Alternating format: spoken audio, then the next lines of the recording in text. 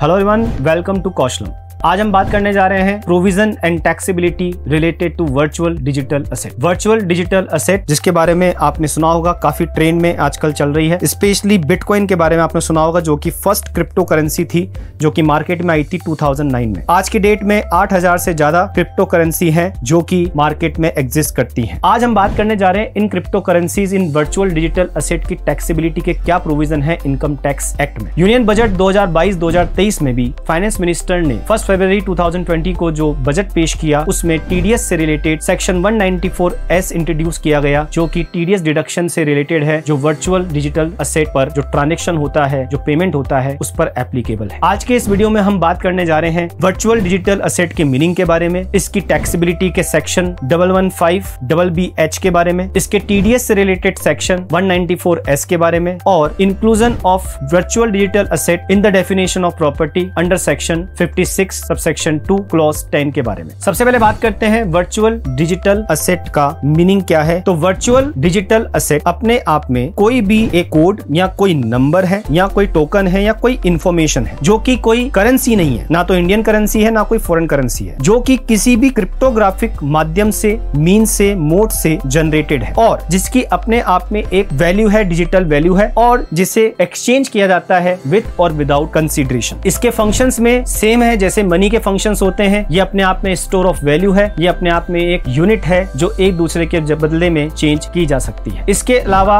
Government भी time to time notify करती है किसी पर्टिकुलर असेट को एज वर्चुअल डिजिटल असेट इसी तरह नॉन फंजिबल टोकन या any other similar nature token भी इसकी डेफिनेशन में कवर है। अब बात करते हैं वर्चुअल डिजिटल असेट पर इनकम टैक्स के क्या प्रोविज़न है। तो section double one five double B H के अकॉर्डिंग जो इनकम है आपको वर्चुअल डिजिटल असेट से जनरेट हुई है उनके ट्रांसफ़र पर वो कैपिटल गेन हेड में टैक्सेबल है और उसकी इनकम पर 30 परसेंट की रेट से टैक्स लगता है। अब ये कैसे कैलकुलेट होगा कैपिटल गेन इसका एक सिंपल सा तरीका है कि जितने में आपने ये वर्चुअल डिजिटल असेट बेची है, उसका जो फुल वैल्यू कंसिडरेशन है, उसमें से आपको कॉस्ट ऑफ़ एक्विजिशन माइनस कर देनी है वर्चुअल डिजिटल असेट की। तो रिमेनिंग जो बचेगा, उसे हम कहेंगे कैपिटल गेन लॉन्ग टर्म या शॉर्ट टर्म और उस पर थर्टी परसेंट टैक्स की रेट एप्लीकेबल होगी और ये टैक्स चार्ज होगा। अब बात करते हैं फाइनेंस बिल 2022 के बारे में जो कि एक सेक्शन लेकर आया 194 एस जो कवर करता है provision related to TDS with regards to digital asset transaction means digital asset transaction पर टीडीएस भी डिडक्ट होगा। अब फाइनेंस बिल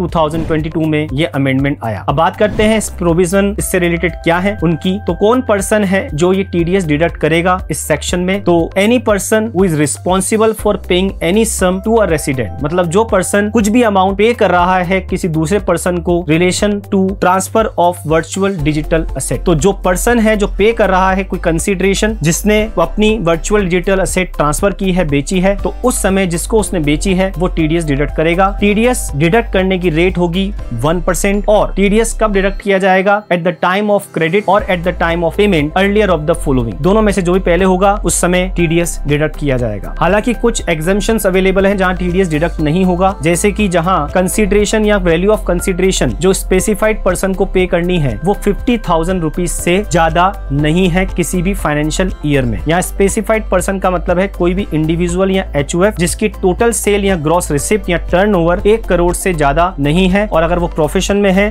तो 50 लाख से ज़्यादा उसकी रिसिप्ट नहीं है। या फिर बात करें, जब कंसिडरेशन या कंसिडरेशन की वैल्यू किसी पर्सन को जो आप पे कर रहे हैं, किसी स्पेसिफाइड पर्सन के अलावा, वो दस हज़ार से ज़्यादा नहीं है। ठीक है? तो यहाँ पर टीडीएस के प्रोविज़न एप्लीकेबल नहीं होंगे। अब बात करते हैं, क्या वर्चुअल डिजिटल असेट प्रॉपर्टी की डेफिनेशन में कवर है एज पर section 56 sub section two clause ten के अकॉर्डिंग क्योंकि उस सेक्शन में जब आपको कोई वर्चुअल डिजिटल असेट मिलती है किसी गिफ्ट के तौर पर तो क्या वो गिफ्ट आपके लिए टैक्सेबल होगा। तो जी हाँ बिल्कुल वो गिफ्ट आपके लिए टैक्सेबल होगा, क्योंकि वो प्रॉपर्टी की डेफिनेशन में कवर किया गया है। तो ये थे provision taxability of virtual digital asset के बारे में। ऐसी ही और इन्फॉर्मेशन के लिए जो income tax GST accounts and finance से रिलेटेड है, आप ज्वाइन कर सकते हैं कौशलम के डिफरेंट स्किल बेस्ड कोर्सेज और आप जुड़े रहिए कौशलम के साथ। Enjoy the learning thank you